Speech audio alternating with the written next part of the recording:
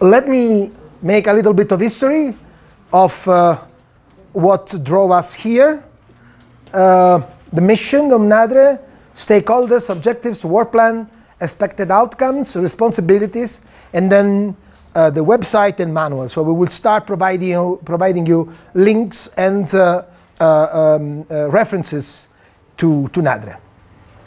So um, everything started two and a half years ago in Dakar, Senegal. Uh, Dr. Margaret actually attended a workshop uh, co-organized by three projects, SciGaia, which I've already heard, Tandem and Magic, uh, three European, under, uh, three European funded projects. And this was a workshop on promoting open science in Africa. And the outcome of the workshop and the discussions uh, I had with Dr. Margaret at that time was a decision to make, uh, to, to make, to hold a similar event in Ethiopia in the year. And this actually happened in November 2016. We co-located uh, with a, a, large visibility, a big event organized by ESC. We collocate, we added an extra day where we run a SciGaia workshop named Open Science for Research Without Frontiers. And we did this in Addis Ababa. And again, we ran events and we got outcomes and uh, actions for the future. At that time, um, I was presenting uh, the, um, uh, the third e-research Hackfest that we ran in November 2016 in Lagos, Nigeria. And there was so much interest that, that we accommodated at the very last moment the participation of two people from Ethiopia to Lagos, Nigeria. They spent there two weeks, uh, and as I showed you in my previous presentation, they implemented the first uh, pilot of the open access repository. And then second outcome, there was, a, there was an interest in running the e-research Hackfest in Ethiopia, and we did it. In February 2017, we came here for two entire weeks, and uh, we ran this uh, uh, intensive uh, training event. And the outcome was that several services and applications were deployed and developed. Some of them were the first, uh, the very first prototypes of today's NADRE services. Then uh, Ethernet joined the UbuntuNet Alliance. They uh, proposed to host uh, the annual event of the UbuntuNet, which is called UbuntuNet Connect. And this happened in November last year in Addis Ababa. Um, e e Ethernet uh, uh, hosted the UbuntuNet Connect conference. And uh, the conference was preceded by a workshop named Towards an African Open Science Platform Infrastructure Framework. And again, events and action. The action was that the Minister of Education attended the workshop and he was so interested that uh, he announced later on the news the decision to create a national academic digital repository of Ethiopia. And this was actually the time when the NADRE concept started. Then we discussed uh, to, to raise awareness about NADRE and to launch the initiative as a kickoff conference. And uh, this took place in February this year, again in Addis Ababa. This was the NADRE kickoff. By the way, all these are links. So you can, if you, when you will get the presentation, you will, you, the presentations will be on the agenda. You will be able to follow the links and go to the agendas of those events and get all the presentations, all the information. So the NADRE kickoff conference uh, was held in February with the participation of international experts. And after that, GIZ opened a tender for a service provision for the actual implementation of NADRE. Uh, I bid for the tender, and actually my bid was the bid of, of my team was uh, won the tender, and for the and the actual implementation of the NADRE started. The terms of reference of the consultancy includes four workshops to be done at four focal points in, uh, in, uh, in Ethiopia, and uh, Gondar, Aksum, Jimma, and Dilla were selected as uh, the points of these four workshops, and this is why we are here for the second workshop. Um, between June and now, um, another important event, a kind of NADRE side event, that took place in Gondar. This was led by uh, Dr. Paolo Budroni from the University of Vienna. And the workshop was on research data stewardship and e-infrastructure for Ethiopian stakeholders. This was an event more focused on legal aspects of uh, open, open access and open data, on data management plan, on data stewardship. And again, this is all this all the slides all the presentations are stored on the agenda system on the very same on the on the same event management system where you can find the you, you, you can find the agenda of today and tomorrow. So another mission. The mission is to provide researchers, lecturers, students, and stakeholders from outside of the academic world access to all researchers' works published by Ethiopian universities and research institutions all public and private universities as well as research institutions will contribute to the NADRE and will provide all citizens access to it. In order to complement and feed the NADRE, each Ethiopian university is encouraged to build its own repository and to provide the Ethernet access to that university and uh, to provide Ethiopian uh, uh, Ethernet uh, access to that university repository in order to harvest and amalgamate publications from these repositories to the central national repository. Those universities that are not currently able, able to establish their own repository, this is, as we heard this morning, is not the case of Aksum, but could be the case of other universities, uh, Ethernet will provide support to deploy their own institutional repository. However, each university will be responsible for the curation of content stored in their own repository. So NADRE has different stakeholders. The Minister of Education for the policies, as we discussed. GIZ has provided fund, funding so far. And then a virtual cycle uh, where Ethernet, ESC, and the Ethiopian universities play the important roles. So what are the objectives of NADRE?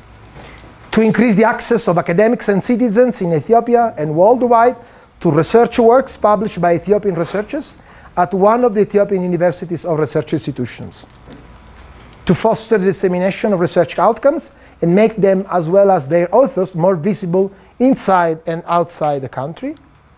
And to spread, to spread completed research to other corners of the country to allow other researchers to build on the concept of sharing and reuse. Uh, we will start with uh, thesis, dissertation, journals with publications, but uh, there are discussions that you have seen to move to data and other components of the research, research life cycle. And all artifacts will be published under open licenses. Licensing, you will see in the next presentation, is a very important aspect because uh, um, I want to underline once more Open data, open access doesn't mean free data, free access. So license is the way to protect IPR and authorship and visibility of the Ethiopian researchers. And all the artifacts will be tagged with digital object identifiers, you have seen already, because the value of using digital object identifiers. So the work plan, we had four activities. Prepare and contribute to the implementation of the, of the pre, pre and, of the conference with pre and post conference workshop. This actually was done even before the start of the consultancy in February. Uh, elaborated the training plan. This was done. The training plan includes these workshops and also a series of webinars, remote web-based events. And tomorrow I will tell you how you can uh, uh, uh um, attend the virtual room and uh, participate to these web-based webinars after our tour in Ethiopia. So starting from the beginning of the following week, not the next one, but the other one. So there will be, uh, there is a calendar of webinars. Everybody is welcome to attend, to provide, to, uh, to raise issues, and to get solutions and support. Uh, conduct a workshop series this is the, the agenda been defined, and this is what we are doing right now, and we will complete this at the end of next week. Uh, we, will, we will be going to Jimma beginning of next week, and to Dilla at the end of next week. So four workshops in two weeks.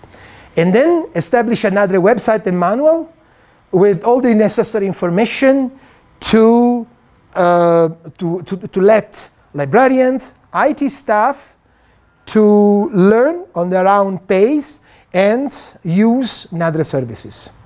Not only experts users, but also end users, students and researchers. A lot of training material has been already created and made available. I'll show you uh, how you can access this and actually use this. So tomorrow you will play with hands-on using material which is already available on the web, on the NADRE website. Okay? So, the expected outcomes, the kickoff conference, this was done.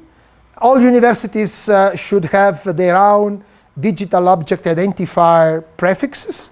We will, uh, we will uh, uh talk tomorrow about DOIs. So even if the University of Aksum wants to keep their own uh, institutional repository, uh, we, we have documentation and support to let the University of uh, tag every single record with a DOI for discoverability, citability, findability, and reusability. Um, all researchers participants have their ORCID IDs. We, we have seen the vice president proudly showed his ORCID ID. Tomorrow, uh, every uh, one of the tutorials is to register to ORCID, and all of you will be guided to create your own ORCID profile. Why this? Because you will be able to connect the, your publications, your works stored on the NADRE repository to your ORCID profile, to, to, to your ORCID profile for maximum visibility, to increase your visibility. Uh, so train university librarians and library ICT staff in the use of maintenance of repository. Tomorrow we will uh, show you uh, how to do this. Um, you have uh, basically two options either people will submit uh, um, documents to the NADRE repository or they will submit it to your repository and then you have to put in place a procedure that periodically every night for example pushes the, the, your, your records to the NADRE repository.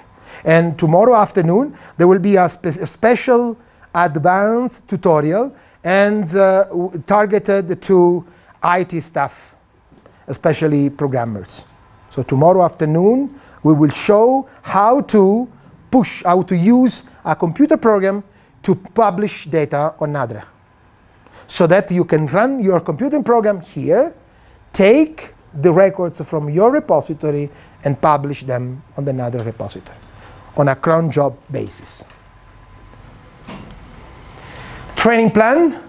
This basically has been done. We we are writing, we will write the reports from these events and uh, from the workshops and uh, another website and manual. This is done. The website and manual have been released. Of course, this is in progress because during the webinars, you may suggest changes or additions.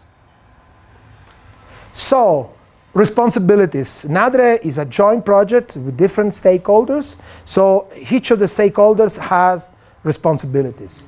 So these are the responsibilities of Ethernet to provide a space on the cloud, to provide technical support, to do the programming necessary for the NADRE to be fully accessible in operation, to manage the creation of DOI subprefixes, to inform university and research institution how to request and obtain a DOI prefix, and to train local IT staff. Uh, we are in the process of handing over all this to Ethernet. There will be a session with Mario, Yuel, Mekwanent, Elina later this afternoon. We are handing over all this. And we have heard this morning from Elina that uh, Ethernet is providing cloud-based resources for the NADRE services already.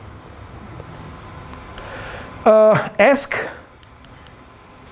um, oops, sorry, to coordinate between universities and research institutions, to advise users how to work with the NADRE, how to get ORCID ID, and how to link research works to the ORCID profiles. You will see this in actions, and then there are also procedures to do that.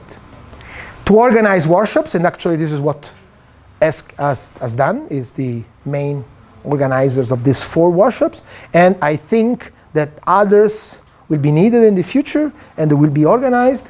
And of course, ESCA by mandate should report towards the Minister of Education, which is the owner, the real owner of the NADRE initiative. Universities. What are the responsibilities of the Ethiopian universities participating to the NADRE project? Uh, those universities and research institutions which already have a repository, Aksum is one of them, will provide access to it in order to accommodate it within the repository. So the, all the procedure to move, to copy records from your repository to the central one. To disseminate among researchers the standards necessary to accommodate research works to the NADRE repository. So all the documentation, you will be able to reuse it and to share within your university with your uh, users. To promote the creation of ORCID IDs among all the researchers. To manage the issuance of DOIs to tag research documents. You will see tomorrow how to do this. And you should, this, you should do this already for the 1,600 books that uh, you mentioned this morning, you will be tagging with official DOIs and move to the central repository. And to handle the license issue with the researcher, this is very important. We will be discussing licenses tomorrow, but uh, this is very important that you inform your users, your researchers, about the importance of the, uh, assigning license, licenses uh, to any research product that will be stored on the open access repository to protect the investment, to protect the intellectual property, and to protect the authorship of Ethiopian researchers. To run the plagiarism check, this is very good because if everything is on the open access repository, it will be very easy to spot duplicates.